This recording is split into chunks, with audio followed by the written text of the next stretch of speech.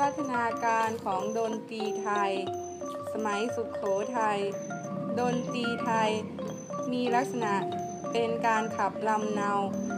และร้องเล่นกันอย่างพื้นเมือง เกี่ยวกับเครื่องดนตรีไทย ในสมัยนี้ปรากฏหลักฐานกล่าวถึงไว้ในหนังสือไตรภูมิพระร่วง ซึ่งเป็นหนังสือวรรณคดีที่แต่งขึ้นในสมัยนี้ หลักฐานที่กล่าวนี้ สันนิษฐานว่าวงดนตรีไทย สมัยสุขโขทัยมีดังนี้คือ 1. วงบรรเลงพิน มีผู้บรรเลงหนึ่งคนทำหน้าที่ดีดพิน และขับร้องไปด้วย เป็นลักษณะของการขับลำเนา 2. วงขับไม้ ประกอบด้วยผู้บรรเลง 3 คน คือ คนขับลำเนา1คน คนสี ซอสามสาย คอเสียงร้อง1คน และคนไกวบันเถาะให้จังหวะ1คน 3. วงปีพาย เป็นลักษณะของวงปีพายเครื่อง 5 มี 2 ชนิดคือ วงปีพายเครื่อง 5 อย่างเบาประกอบด้วย เครื่องดนตรีชนิดเล็กๆจำนวน 5 ชิ้น คือ 1. ปี 2. กองชาตี 3. ทัพ 4. ของคู่และชิง ใช้บรรเลงประกอบการแสดงละครชาตีในสมัยกรุงศรีอยุธยาปราก หลักฐานเกี่ยวกับดนตรีไทยในสมัยนี้ ใน กฎมนเทียนบาน ซึ่งระบุชื่อเครื่องดนตรีไทยเพิ่มขึ้น จากที่เคยระบุไว้ในหลักฐานสมัยสุสโขทัยซึ่งน่าจะเป็นเครื่องดนตรีที่เพิ่งเกิดในสมัยนี้ได้แก่ กระจับปี คุยจะเข้และลัมมนา พัฒนาขึ้นกว่าในสมุในสมัยสุโขทัยดังนี้คือ วงปีพาด ในสมัยนี้ก็ยังคงเป็นวงปีพาดเครื่อง5เช่นเดียวกับในสมัยสุโขทัยแต่มีระนาดเอกเพิ่มขึ้น ดังนั้นวงปีพาดเครื่อง5ในสมัยนี้ประกอบด้วยเครื่องดนตรี ดังต่อไปนี้คือระนาดเอก ปีในคล้องวง กองทัตโพนชิง สมัยกรุงธนบุรี เนื่องจากในสมัยนี้เป็นช่วงระยะเวลาอันอันสั้นเพียงแค่ 15 ปี และประกอบกับเป็นสมัยแห่งการก่อสร้าง ก่อสร้างเมืองและการป้องกันประเทศเสียโดยมาก วงดนตรีไทยในสมัยนี้ จึงไม่ปรากฏหลักฐานไว้ว่า ได้มีการพัฒนาเปลี่ยนแปลงขึ้น สันนิษฐานว่ายังคงเป็นลักษณะและรูปแบบของดนตรีไทย ในสมัยกรุงศรีอยุธยานั่นเอง สมัยรัตนโกสินทร์ในสมัยนี้เมื่อบ้านเมืองได้ผ่านพ้นจากภาภาวะศึกสงคราม และได้มีการก่อสร้างเมืองให้มั่นคงเป็นปึกปึกแผ่น เกิดความสงบร่มเย็น โดยทั่วไปแล้วศิลปวัฒนธรรมของชาติ ก็ได้รับการฟื้นฟู ทนุถนอมบำรุง และส่งเสริมให้เจริญรุ่งเรืองขึ้น โดยเฉพาะทางด้านดนตรีไทย ในสมัยนี้ได้มีการพัฒนาเปลี่ยนแปลง เจริญขึ้นเป็นลำดับต่อไปนี้คือสมัยรัชกาลที่ 1 ดนตรีไทย ในสมัยนี้ส่วนใหญ่ยังคงมีลักษณะและรูปแบบตามที่มีตั้งแต่สมสมัยกรุงอยุธยา และพัฒนาขึ้นบ้าง ในสมัยนี้ก็คือการเพิ่มกองทัพขึ้นอีกลูกหนึ่งในวงปีพาดซึ่งแต่เดิมมามีแค่ลูกหนึ่งลูกพอมาถึงสมัยราชการที่หนึ่งวงปีพาดมีกองทัพสองลูก เสียงสูง ลูกหนึ่งและเสียงต่ำ ลูกหนึ่งและการใช้กองทัพสองลูก ในวงปีพาดก็เป็นที่นิยมกันมาจนกระทั่งในปัจจุบันนี้ สมัยรัชกาลที่สองอาจกล่าวว่าในสมัยนี้เป็นยุคทองของดนตรีไทยยุคหนึ่งทั้งนี้เพราะองค์ เพราะองค์พระมหากษัตริย์ ทรงสนพระไทย ดนตรีไทยเป็นอย่างยิ่งพระองค์ ทรงประพระปรีชาสามารถในทางดนตรีไทย ถึงขนาดที่ทรงดนตรีไทยคือซอสามสาย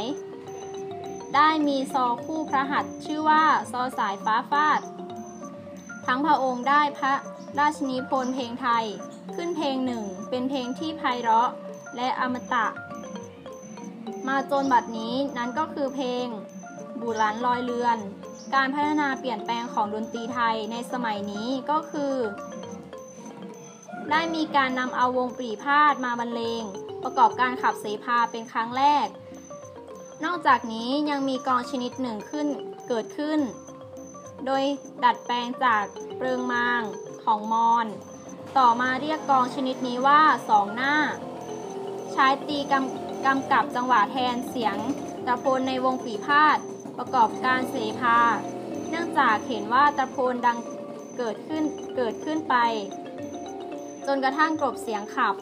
กองสองหน้านี้ปัจจุบันนิยมใช้ตีกับจังหวะหน้าทับ ในวงปีพาดไม้แข็ง สมัยรัชกาลที่ 3 วงปีพาดได้พัฒนาขึ้นเป็นวงปีพาดเครื่องคู่เพราะได้มีการประดิษฐ์ระนาดทุ่ม มาคู่กับระนาดเอก และประดิษฐ์คล้องวงเล็ก มาคู่กับคล้องวงใหญ่ สมัยรัชกาลที่ 4 วงปีพาดได้พัฒนาขึ้นเป็นวงปีพาดเครื่องใหญ่ พราะได้มีการประดิษฐ์เครื่องดนตรีเพิ่มขึ้นอีก 2 ชนิด เรียนแบบระนาดเอกและระนาดทุ่ม โดยใช้โลหะทำลูกระนาด และทำรางระนาดไว้แตกต่าง ไปจากรางระนาดเอกและระนาดทุ่ม เรียกว่าระนาดเอกเล็ก และระนาดทุ่มเล็กนำมาบรรเลงเพิ่มในวงปีพาดเครื่องคู่ทำให้ขนาดของวงปีพาดขยายใหญ่ขึ้นจึงเรียกว่า วงปีพาดเครื่องใหญ่ อันนึงในสมัยนี้ วงการดนตรีไทยนิยมการร้องเพลง ส่งให้ดนตรีรับ หรือที่เรียกว่าการร้องส่ง กันมากขึ้นจนกระทั่ง การขับเสพาซึ่งเคยนิยมกันมาก่อนค่อยๆหายไป และการร้องส่ง ก็เป็นแนวทางให้มีผู้คิด แตกขยายเพลงสองชั้น ของเดิมให้เป็นเพลงสามชั้น และตัดลงเป็นชั้นเดียว จนกระทั่งกลายเป็นเพลงเถาในที่สุด สมัยรัชกาลที่ 5 ได้มีการปรับปรุงวงปีพาดขึ้นสมขึ้นใหม่ชนิดหนึ่ง ซึ่งต่อมาเรียกว่าวงปีพาดดึกดำบรรพ์โดยสมเด็จกรมพระยา นิราชนุวัติวงศ์สำหรับใช้วงสำหรับใช้บรรเลงพักประกอบการแสดงละครดึกดำบรรพ์ซึ่งเป็นละครเพิ่งปรับปรุงขึ้นในรัช สมัยรัชกาลนี้เช่นกัน หลักการปรับปรุงของท่านก็โดยการตัดเครื่องดนตรีชนิดเสียงเล็กแหลม หรือดังเกินไปออก คงได้แต่ดนตรีที่มีเสียงทุ่ม นุ่มนวลกับเพิ่มเครื่องดนตรีบางอย่างเข้ามาใหม่ เครื่องดนตรีในวงปีพาดดึกดำบรรจึงประกอบด้วยระนาดเอกของวงใหญ่ ระนาดทุ่ม ระนาดทุ่มเล็กขุย ซออู ตะโพน กองตะโพน และเครื่องกำกับจังหวะ สมัยรัชกาลที่ 6 ได้การปรับปรุงวงปีพาดขึ้นมาอีกครั้งหนึ่ง โดยนำวงดนตรีของมอญมาผสมกับวงปีพาดของไทย ต่อมาเรียกวงดนตรีนี้ผสมนี้ว่าวงปีพาดมอญ โดยหลวงประดิษฐ์ไพเราะ เป็นผู้ปรับปรุงขึ้น วงปีพาดมอญ ดังกล่าวนี้ ก็มีทั้งวงปีพาดมอญเครื่อง5เครื่องคู่ และเครื่องใหญ่ เช่นเดียวกับ วงปรีพาดของไทย และกลายเป็นที่นิยมในการบรรเลงโทมในงานศพมาจนกระทั่งบัดนี้ นอกจากนี้ยังได้มีการนำเครื่องดนตรีของชาติต่างชาติ เข้ามาบรรเลงผสมกับวงดนตรีไทย บางชนิดก็นำมาดัดแปลงเป็นเครื่องดนตรีของไทยทำให้รูปแบบของวงดนตรีไทยเปลี่ยนแปลงพัฒนาดังนี้คือ การนำเครื่องดนตรีของชวา หรืออินโดนีเซียคืออังกะลุง มาเผยแพร่ในเมืองไทยเป็นครั้งแรก โดยหลวงพระประดิษฐ์ไพเราะ หลวงพระประดิษฐ์ไพเราะ เป็นบุตรของนายศิลและนางยิ้ม ศิลปะบรรเลง ซึ่งเป็นเจ้าของวงปีพาย และเป็นสิทธิ์ของพระประดิษฐ์ไพเราะ ในปีพศ 2443ขณะมีอายุได้ 19 ปี ท่านได้แสดงฝีมือ สดงเดี่ยวละนาดเอกถวายสมเด็จพระเจ้า น้องยาเธอ เจ้าฟ้ากรมพระยาพานุพันธ์วงวรเดชทำให้ทรงรับตัวเข้าไว้ที่วังบุรพาพิลม เพื่อทำหน้าที่นักระนาดเอกประจำวงวังบูรพา และได้รับการศึกษาดนตรีในวัง จากพระยาประสานดุลยทรัพย์ครับจากวัดวางสอนได้รับพระราชทานบรรดาศักดิ์